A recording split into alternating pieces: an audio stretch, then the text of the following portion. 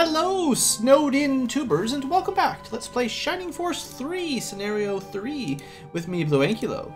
So, last episode, we had a promotion party, and if you missed that, you're... What a shame, you missed an amazingly fun section of the game. So everyone's got their, uh... Well, the main team has all got some new, uh... Some new, uh... Looks, let's say, and some better stats, and, uh... It's pretty cool. Possibly new spells for some of them and uh, they can start leveling up a little bit more. So that's pretty awesome. Today's adventure is to explore, uh, well, it's sort of a town, but, you know, it's fine. It's not a very big town.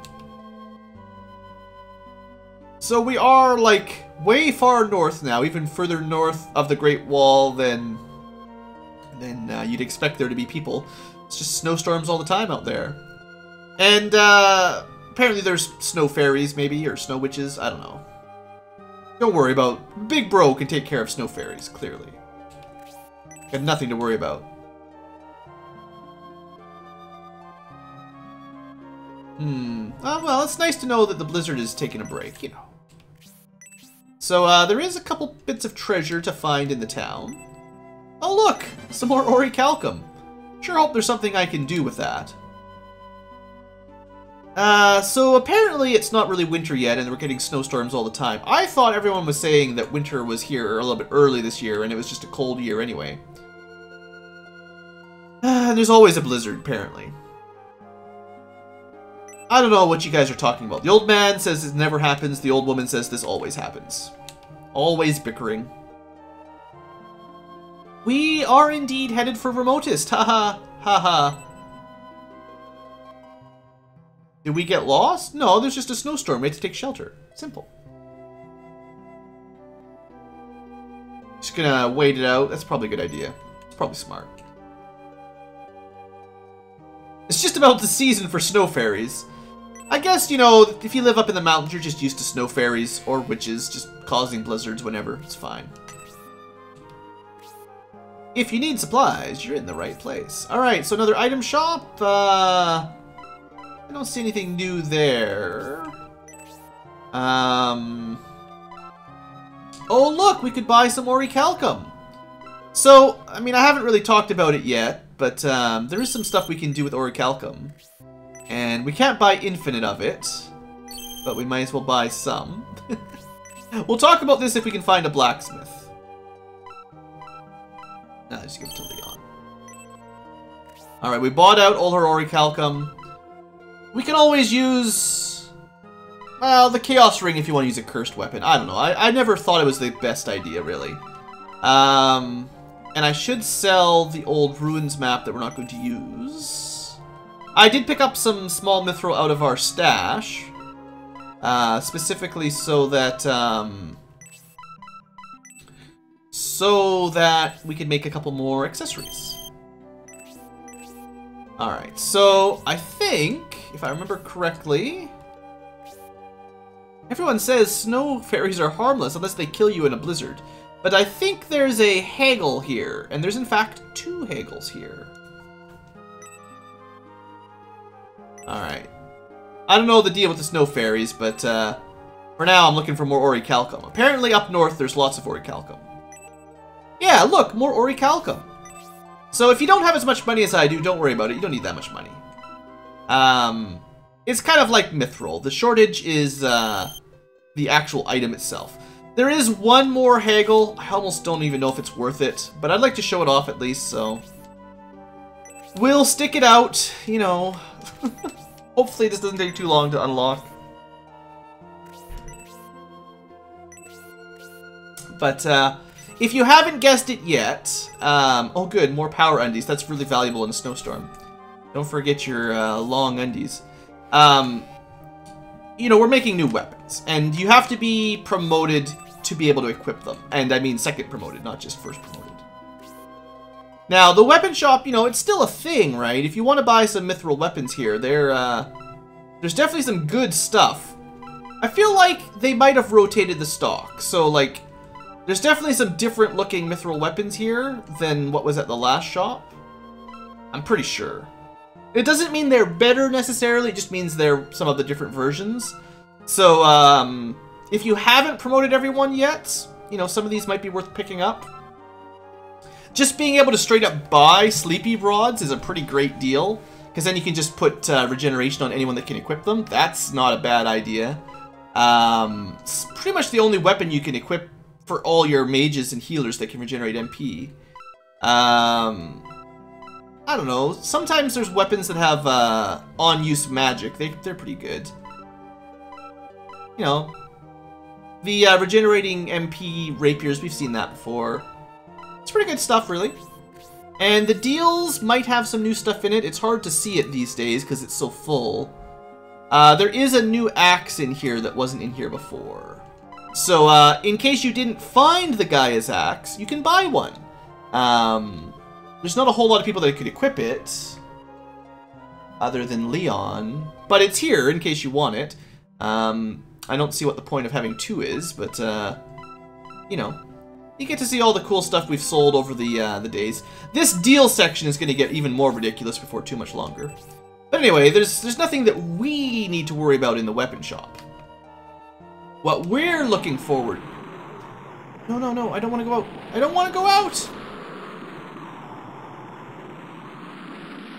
I am not leaving this thing yet, but I guess we're going to see this cutscene first. Oh, the storm appears to be getting worse again. It seems we'll have to wait a little longer.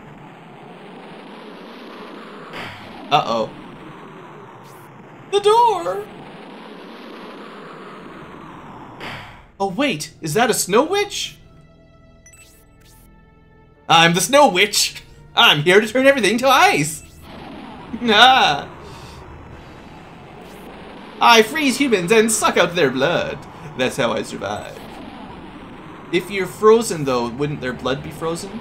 And now I will freeze you and feast on your fresh, fresh frozen blood. Uh, Besom staff, go!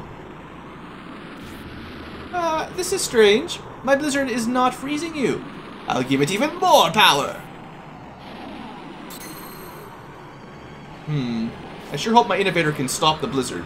Something's wrong. You shouldn't be. You should have been frozen by my powerful blizzard. Who are you? Stop this! What? Now there's princesses?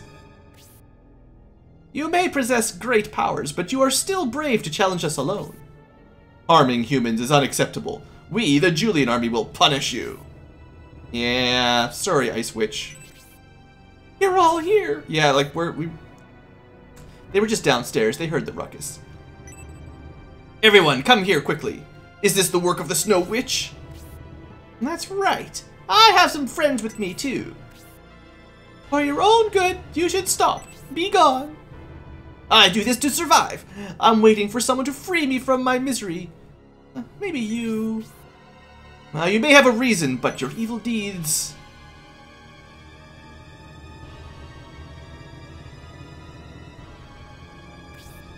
Will you withdraw for now? You're asking me to withdraw. But I'm the Snow Witch. I won't die before I have my revenge on Bullzome, who turned me into this. Uh, you know we're fighting Bullzome, right?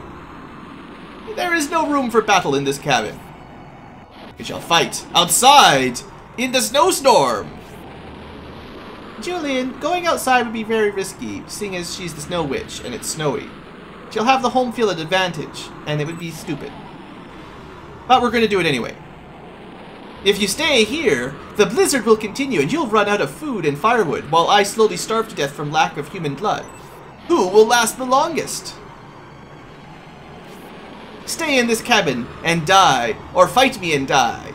It doesn't matter to me, but I'd rather have fresh blood. So come out and die so I can get fresh blood. Please. Maybe? This is a tricky situation, Julian. I didn't expect the Snow Witch. Apparently everyone that lives here knew about the Snow Witch, so seriously guys, why didn't you listen to the villagers? She's the cause of the storm! How powerful must she be to control nature and create blizzards? But she also says she hates Bullzome and won't die before she has her revenge. What about compassion?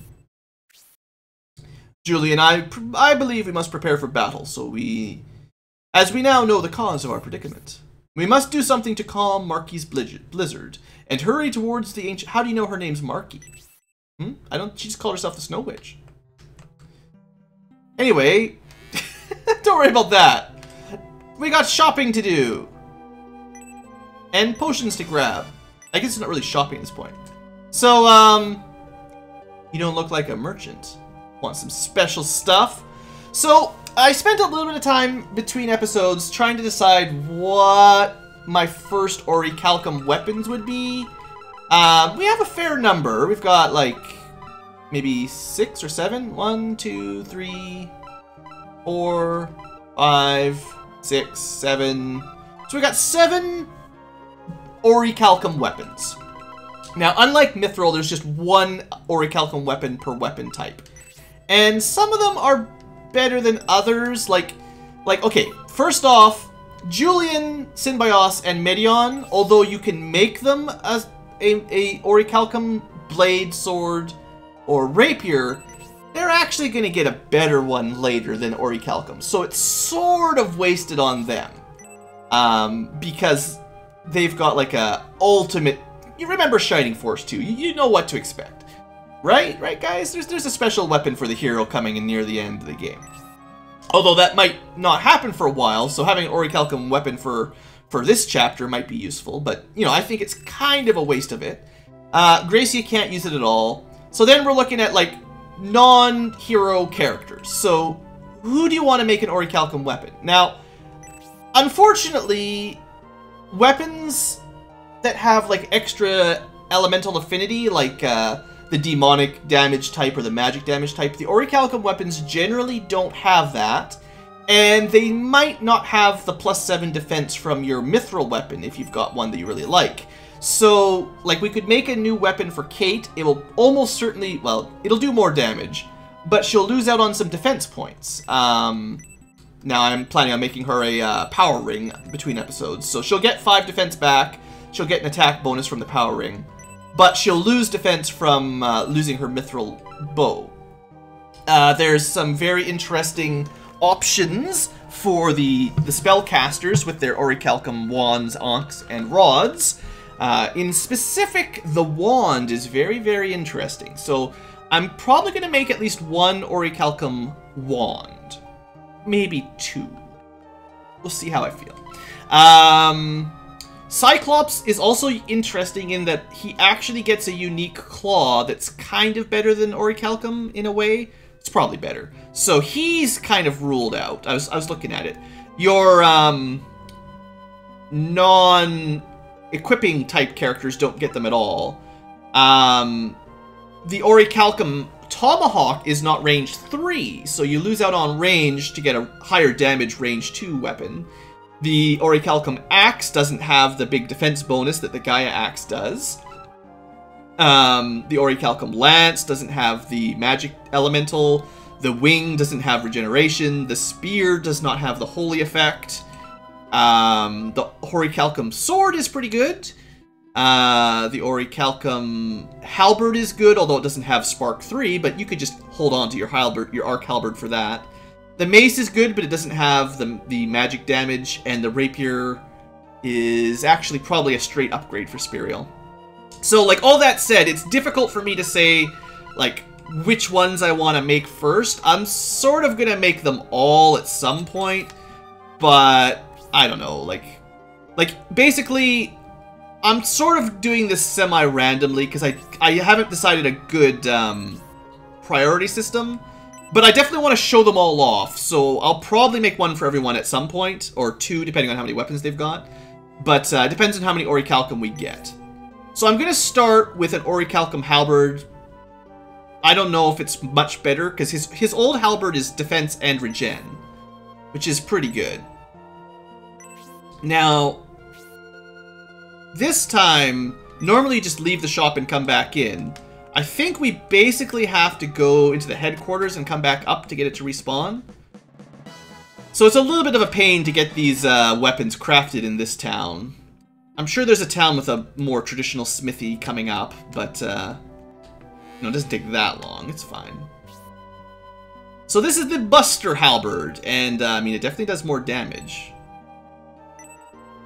And just because you make an Orichalcum halberd doesn't mean you have to get rid of your other weapons if you don't want to. Just like you know, just because you have a, an Orichalcum weapon doesn't mean you you have to throw away your regeneration. But there's your Buster Halberd. We're losing defense and regeneration, but we're getting a fairly big attack bonus. And the way I remember it, the specials from the Orichalcum weapons are generally superior. They are the best special attacks in the game, the best criticals. So, um, whatever the Gorgon Buster does, I would expect it's pretty powerful, but, I mean, we'll have to test it out. So, that's, you know, one of them. I think I'll do maybe one more on camera, and then I'll maybe, well, I don't know, we'll see. Um, I want to make a wand, so we need to equip a wand here, and then she doesn't have to have the Orichalcum in her inventory, it's fine. Let's use Gracia's because he can't even, uh, can't have one anyway. And we'll make one for Bridget because she's, I'm pretty sure I equipped a wand. I don't really want to make a rod, so we'll go with the wand. These are pretty expensive, but I feel like at this point in the game, unless you've had your hero die a lot, you should have a ton of money. And, um, you know, you could easily sell a couple weapons if you want some more. But, I mean, maybe you've been buying a lot of mithril weapons to have spares, or you know, maybe you wanted to have all three of each type of mithril weapon in your stockpile. You'd probably be pretty broke if you tried that. So the Eternal Wand, I wanted this one specifically. Um, I am actually going to... I'm going to give it to Isabella. So, the reason I said the wand was specifically good was, as you'll see very, very shortly, because it has Regeneration MP. Now, I could equip this onto Bridget, and she'd have a regenerating wand rather than a regenerating rod, but her rod skill is level 3 already, and the physical attack on your mages doesn't matter much, even though this will do more damage than the, the Milky, Milky Rod. The thing is, she's already got Spark, so a wand with Spark on it is kind of redundant, I'm not going to use sleep very often, but it's, you know, it's kind of silly. And there's no one else... Well, I guess if you're using the fairy, if you're using um, Primula, this might be an, a reasonable option. It'll give her an attack spell and regeneration. But I, I looked it up, and um, it's actually... It's in, in scenario 3, we actually don't get a princess uh, circlet. You know, the, the regenerating, the MP regenerating accessory for women, uh, female mages, is actually not really accessible in, uh, in, um, in scenario 3. So I thought, well, the only way to get some passive regeneration, some MP regeneration for Isabella that we're going to get to see is if I give her this wand. Now, She's losing some defense. Uh, the wand must have some defense that comes with it. I'll just look it up here quick. Uh, the Eternal Wand comes with 4 defense. It's got a special skill, it's got Spark Magic, it's got Regenerating MP, it's got the highest damage and all the bonuses for it. So, like, it's, it's pretty awesome. Uh, the only problem is that she's not going to have um, Wand uh, proficiency right now. So her healing will have gone down a little bit there uh, because I didn't sort of plan that out. But, you know, we'll probably train up to level 1 and 2 before too long, and that'll give her healing a bit more of a boost um, pretty quickly. Also, now that she's a, uh, a uh, light princess, the, the, tier 3 class does give her even more sort of passive uh, magic affinity, so there's that. And, I mean, Spark is kind of expensive. I don't know, I liked...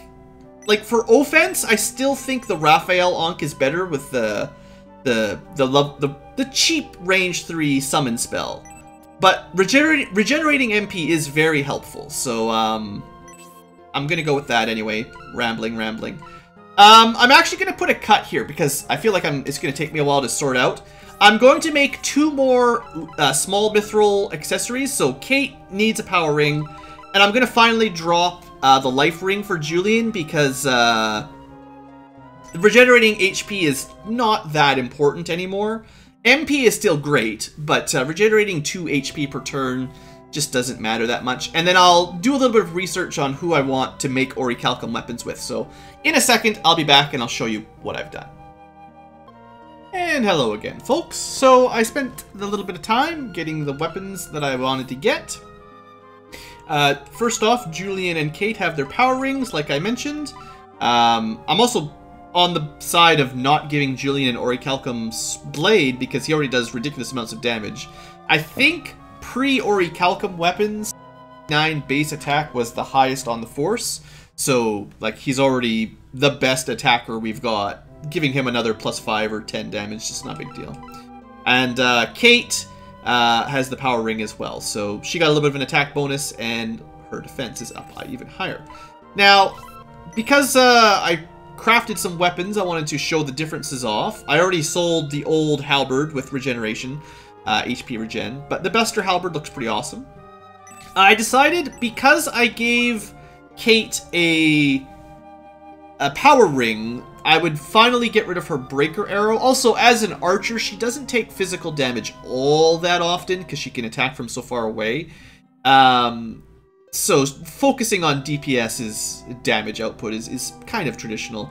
So I gave her the Sagittarius bow um, as one of my first picks. And um, I think it'll have, uh, I mean, I kind of am interested in showing off some of these specials, so uh, we'll be looking forward to uh, Stardust special once we finally get around to that. Uh, you could hold on to the other arrow. If I ever expected her to take damage, I could keep that to equip it. And then we could, you know, we could temporarily boost her defense up to 67. But I think she'll be okay. Uh, next up, who else got a new weapon? There's not too many. Uh, you've seen the Eternal Wand. We're going to hold on to that. Uh, I did not buy any more rods or ankhs for now. The, um... I, I, I just want to explain myself for those. Um, so the Orichalcum Rod does give plus 6 defense, which is pretty nice. Um, but it gives you the Blaze spell, which isn't that important. Uh, Blaze 4 is a nice, cheap, good damage spell, but, um, you know, she's already got bolts and MP. She can steal MP and she'll regenerate MP with her other rod, so I felt you know, going for the Orichalcum Rod didn't help too much. And then the Orichalcum Ankh, if you wanted to go that route, it's got uh, a special attack skill and all that. But its spell is Resist, which is uh, a rarely used but useful skill. But we can already get that from another Ankh, and I don't even bother bringing it usually. So, um, you know, I'll probably, if I get enough Orichalcum, I'll, I'll try to make one of every weapon type. But I figured you know, for now, that's not a high priority. I didn't make any for Leon. Uh, I did make one for Honesty here. So we're going from the Sylph wing to the full metal jacket, I mean wing. Uh, so we're going to lose out on her HP regen with her old wing, which I, I, think was definitely the right pick for the Mithril tier. But the, the full metal wing does give her an even higher defense bonus, and I think that's really valuable on uh, Honesty. And, you know, regenerating 2 or 3 HP, like I said a few times, isn't that big of a difference. Also, some defense, uh, Dark Elemental Resistance is not a bad idea when you're going against Bullzome. So I thought, like, this was a pretty straight upgrade, almost all the way across. Uh, she still needs to get to level 3 with her, her wings anyway.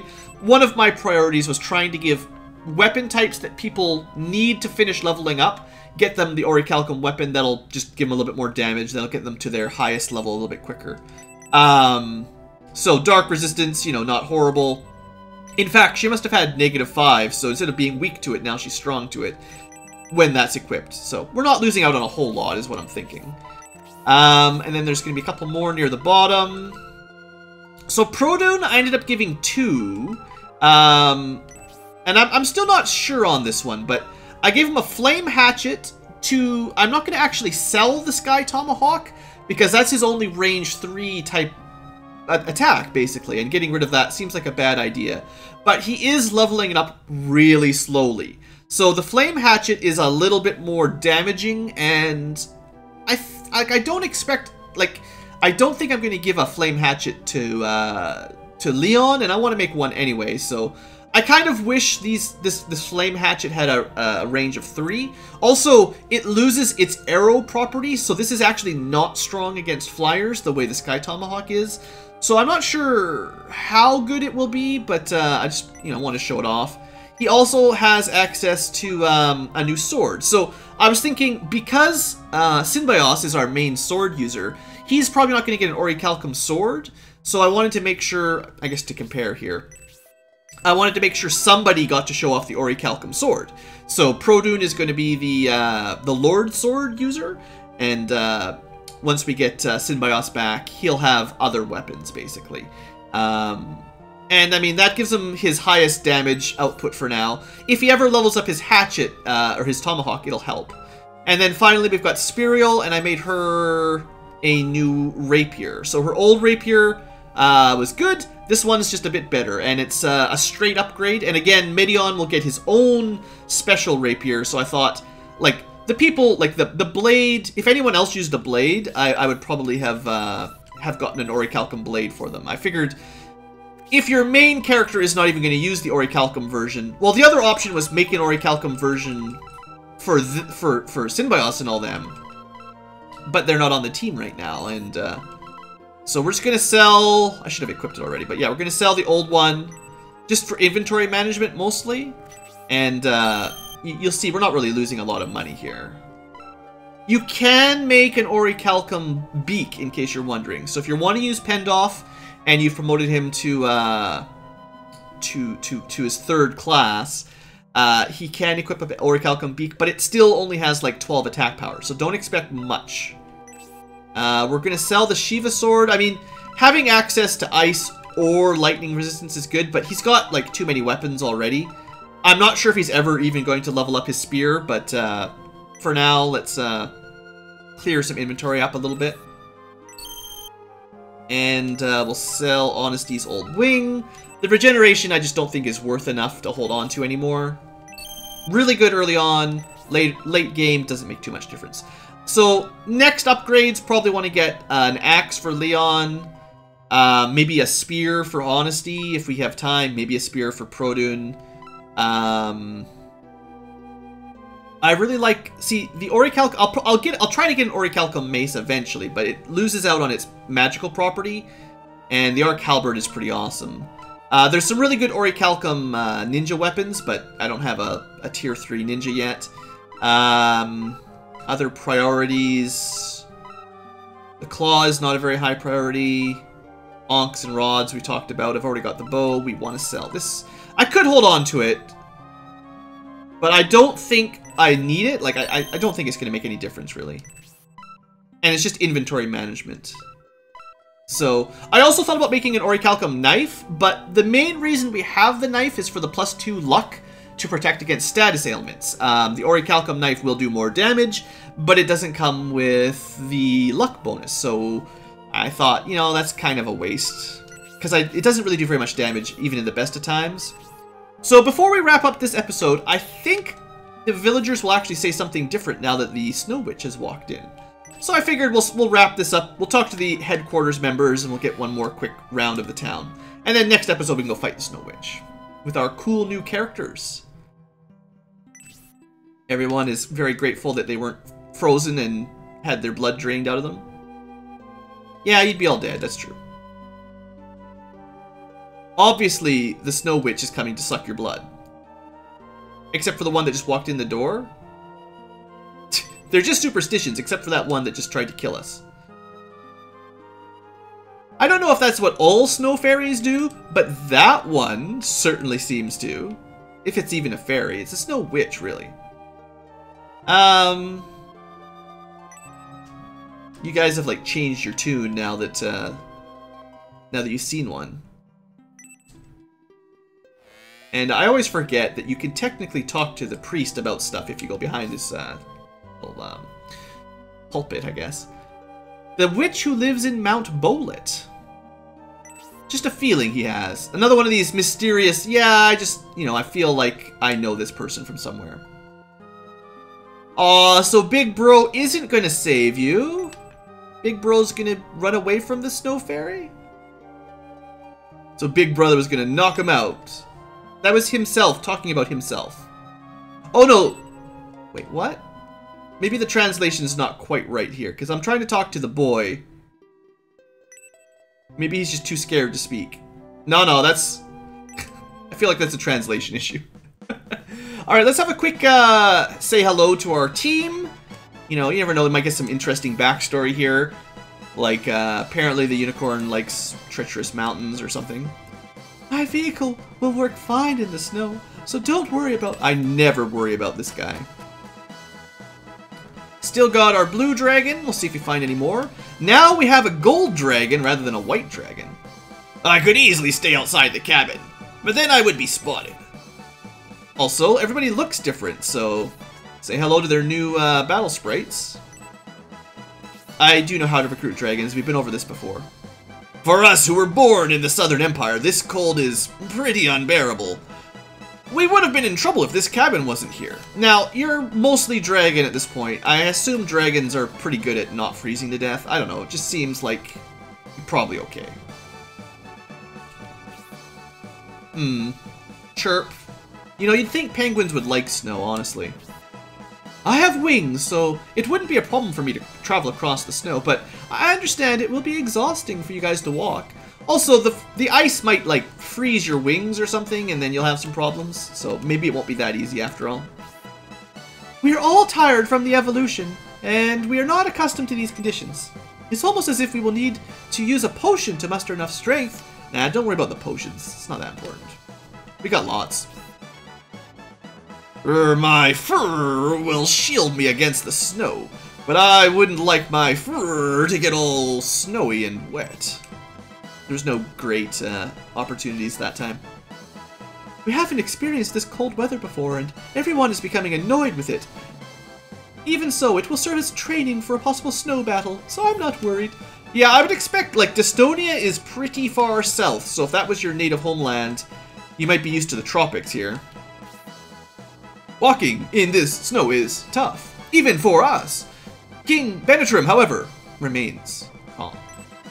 Benetrim already amazes me, and with his physical strength, he's even more amazing. Thanks, Produn. When I was young, I trained at a waterfall during the winter, so this weather is no problem for me, because I'm an anime ninja straight out of Naruto. When I regained my senses in the underground ruins of Aspia Castle, I'd learned I'd lost all of my soldiers.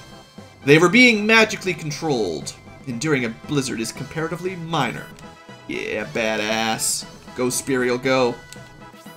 I didn't expect there would be much snow here, but if we proceed a little bit further, the path will lead down the mountains to the ancient road. If there is to be a battle in the mountains, we will need a lot of strength. Unfortunately, we are not experienced in the snow. Luckily, we've got a lion. He'll be fine.